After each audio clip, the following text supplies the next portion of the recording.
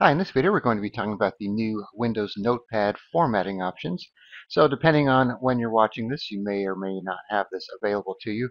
So right now I'm on a Windows Insider Edition on the Dev channel, and my Notepad version is 11.2504.58.0, so you need to have at least this version.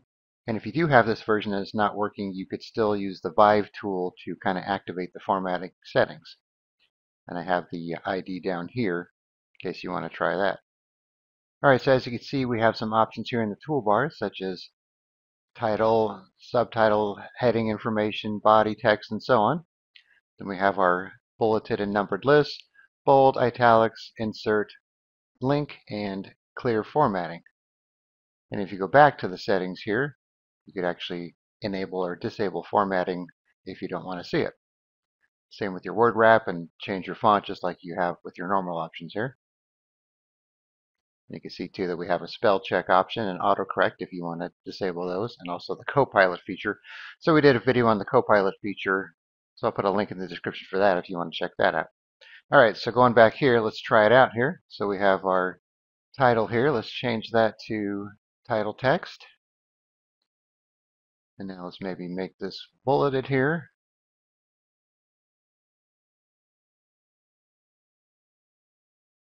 We add a little bold right here.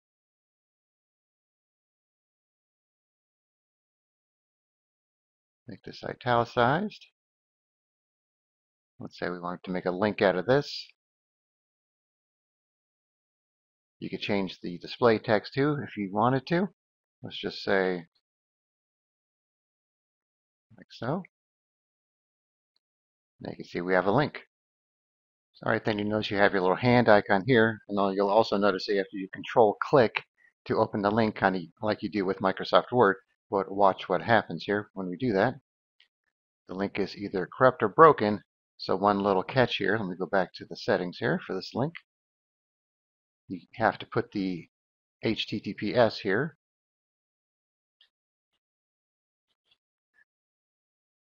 Now when we try it, you can see it works. So keep that in mind when adding your links. All right, let's say we wanted to clear the formatting on everything. Now you can see it's back to normal here. All right, so your formatting options are pretty basic, as you can see here. And then, like I said before, if you do not have the formatting option but are on the correct version of Notepad, you might either have to wait or you could try using the Vive tool with this ID to activate it. All right, so I'll put this in the description as well. And I'll also put a link to the Vive tool, and you can take it from there. All right, thanks for watching, and be sure to subscribe.